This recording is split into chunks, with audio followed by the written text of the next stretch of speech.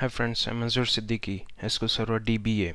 Today we are going to discuss about how to migrate or transfer logins from uh, one SQL Server instance to other SQL Server instance.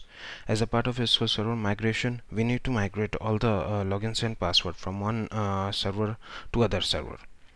Or you can also transfer a specific login and password to other uh, instance for that. Uh, we will use Microsoft Knowledge Base 91892 article normally used for SQL Server 2005 and above where Microsoft has provided excellent script to uh, create procedures uh, which generates existing server credentials. This script is externally provided and it is not available in build with Microsoft SQL Server. So you can uh, take um, that script from Microsoft website. I will show you example how to migrate uh, SQL Server logins and password in a simple way. For that you have to follow some uh, few steps. I will show you. I listed out. You need to follow these steps first of all you have to create a procedure sp underscore hexadecimal and sp underscore help underscore rev login. So microsoft has given scripts to create both the procedures. Then you have to execute sp underscore help underscore rev login procedure. It will generate create login scripts. Those create login scripts you have to copy and paste to new server where you want to create logins. Once login is created you'll be able to log into your existing logins with your credentials. So we'll see step by step procedure. Uh, first of all we'll see uh, how we can uh, uh download how we can uh, take uh, these procedures. Okay for that you have to go to Microsoft website. This one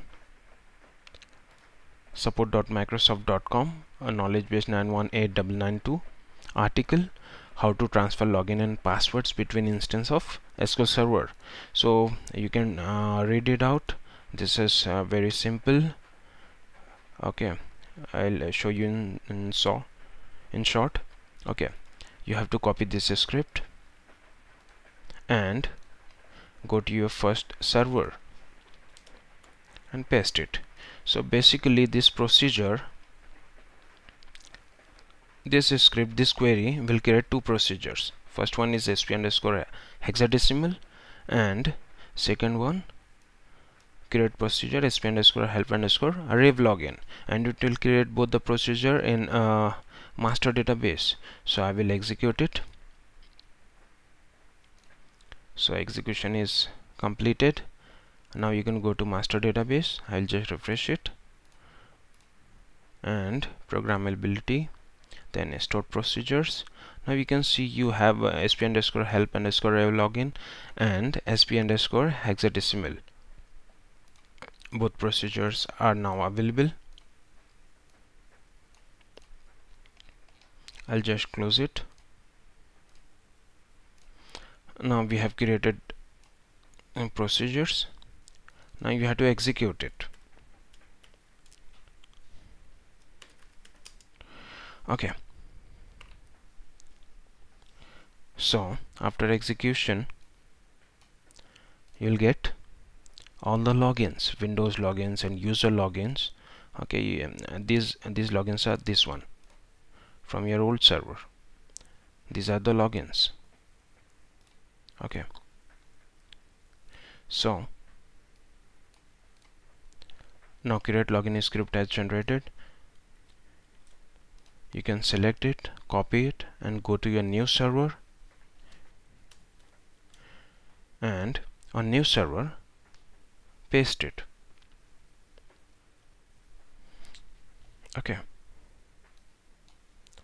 Now if you want to create uh, uh, all the logins so uh, I can consider that you have uh, restored all the database from old server to new uh, new server then uh, you have to create logins. So you can create all the logins. It has Windows logins and user logins I will show you one login. Okay. Yeah, I have which database in this. I'll just cross check. I have inventory database. Okay. So default database is inventory for Lisa. So create login uh, Lisa with password. Uh, this is hash password hexadecimal. Okay an SID security identifier with default password default database inventory and other checks. So you can execute you can select it and execute it. I'll just take it out. And this is create login script. I will create it so login is created. I'll just cross check it. Go to security logins and you can find the login. Now you can try to connect it. I'll give password for this. Login is Lisa. Password I have provided. I'll try to connect it. Okay cannot open user default database login failed login failed for user Lisa. No problem at all because uh, this is associated with uh, some default database which uh, it is not able to connect. So I'll just map it manually no problem. Sometimes it happens so and uh, normally uh, once you have created login you can directly connect to uh, go to your login window and connect it. But if you're getting this error then no problem at all open it open the login properties. This is default database is inventory. So go to user mapping click it. Okay. And now this uh, user is mapped to uh, this database. Click OK. Now again uh, we'll try to login I'll enter the password.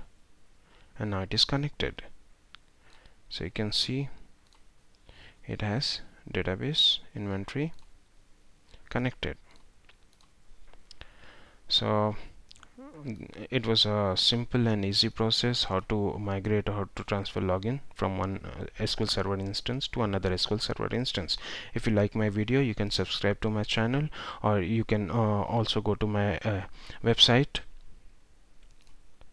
sqlserverlog.com and you can subscribe to newsletter and uh, join me on Facebook. Or if you have any query regarding this uh, article uh, transferring login so you can leave a reply. Thank you